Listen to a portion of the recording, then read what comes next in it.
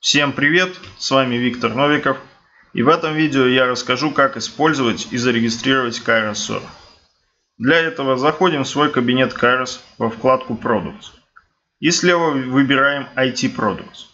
Далее мы видим 4 продукта Kairos. Нас интересует Kairos Выбираем нажатием кнопки Try и нам предлагают выбрать логин. Выбираем и нажимаем Create. После чего на нашу почту придет письмо с инструкцией.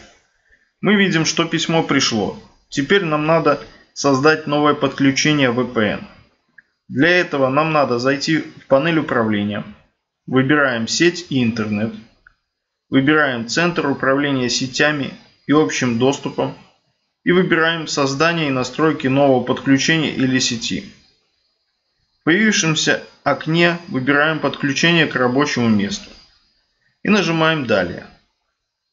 Еще раз нажимаем «Далее» и выбираем «Использовать мое подключение к интернету VPN».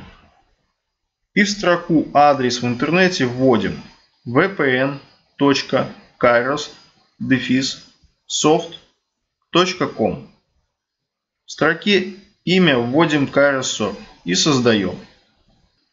Подключение создано, вводим наш логин и пароль и нажимаем ОК. Таким образом мы подключились к серверу KRSO. Для проверки можно зайти на сайт, проверяющий местоположение и IP-адрес. На этом все. В описании есть мой номер Skype и ссылки для регистрации. Звоните, буду рад помочь.